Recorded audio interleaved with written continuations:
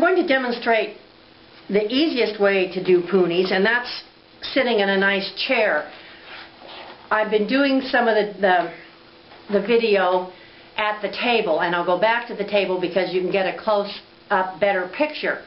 But it's easier to card if you can hold the cards down on your lap instead of on a table. What I'm going to do now is card in a little bit of Tussa, this is Tussa silk that's been rainbow dyed.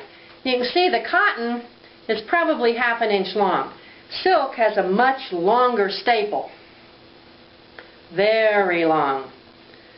So to get this to work, I want to cut the silk so that it's about the same length as the cotton. And I'm just going to cut some off. It can be kind of short, like noils, and put it across. Then I'm going to card it in. And you can see it's much easier to card with the cards down rather than up on the table.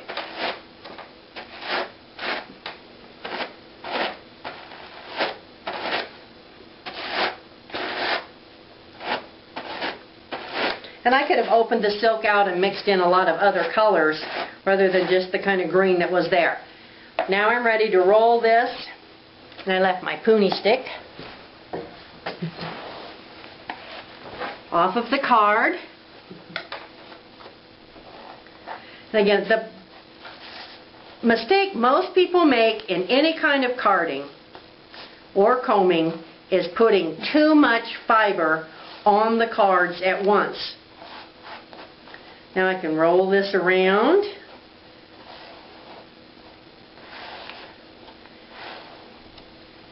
And there you have a puni ready to spin of cotton and silk. Here's the cotton silk puni that I just made.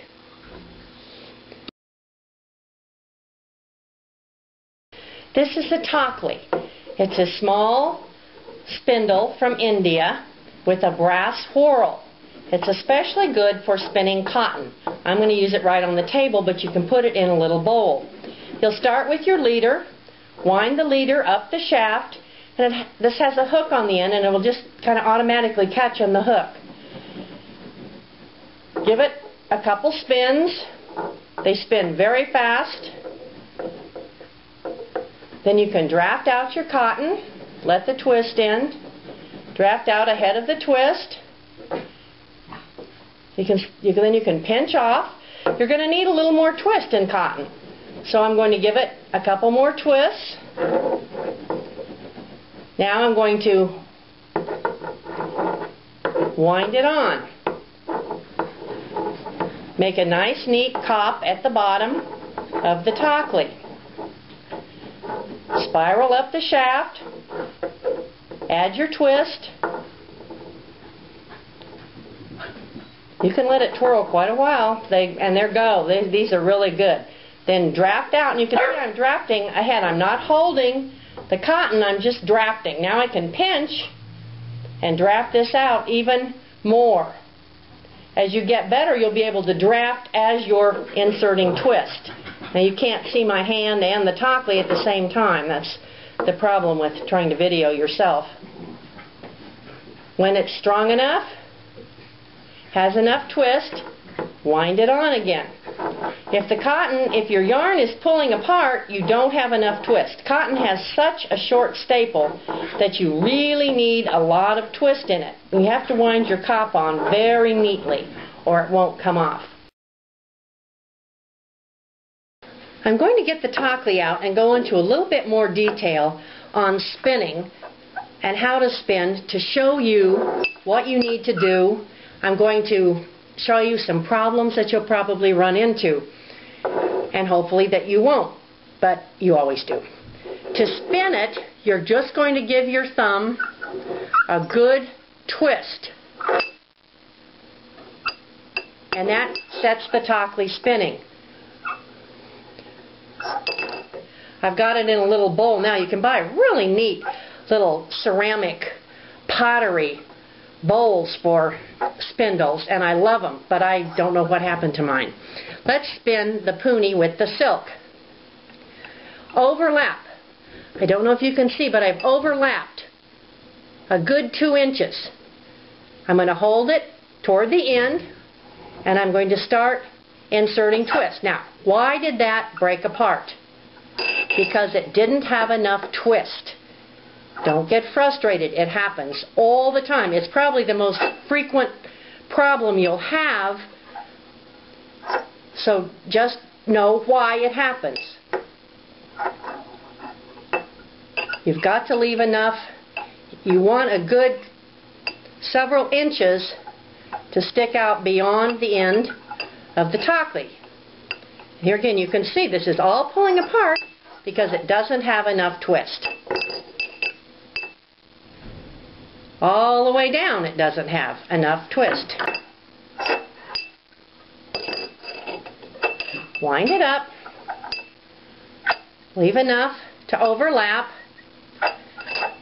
and start inserting twist. Hold right at the end when you start doing this. You can have a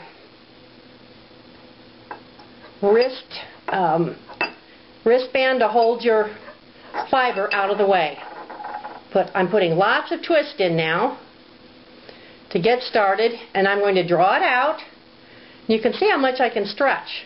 Then I'm going to add more twist and I'm going to draft it out. It pulled apart because it didn't have enough twist. I'm drafting too fast. When that happens, you're drafting back too fast. Frequent problem. Slow down. Add the twist. Go just about an inch. Add the twist. It's harder to join on in the beginning than it is to keep going once you get started. Lots of twist. I'm going to draft it out. Lots and lots of twist. Sometimes when it breaks, you need to have a little thicker part to get it started. There we go. Now again, lots and lots of twist. Now this is where I hadn't joined it yet. Now I can kind of pull on it and you see that it is well twisted. The shorter the fibers, the more twist. So I'm going to ro roll it on, come back up. I'm going to start putting twist in. Now did you see how that ran around? Let's see if I can do it again. That's because I'm not pulling up and away. You want to spin off the tip of the Takli. So I want to draft up and away. I can even come out and away as long as it's up a little bit so that the twist comes in. If I hold this down, it's going to wrap around instead of adding twist. Here I go. I can draft back a little bit now. And you'll figure out about how many times you need to to twirl it to add the twist. Here I go. Now I'm going to give it a good twirl. See, I can draft out a little, but this is going to pull apart very easily because it has no twist. Pinch to keep the twist from getting in your fiber. Then draft out.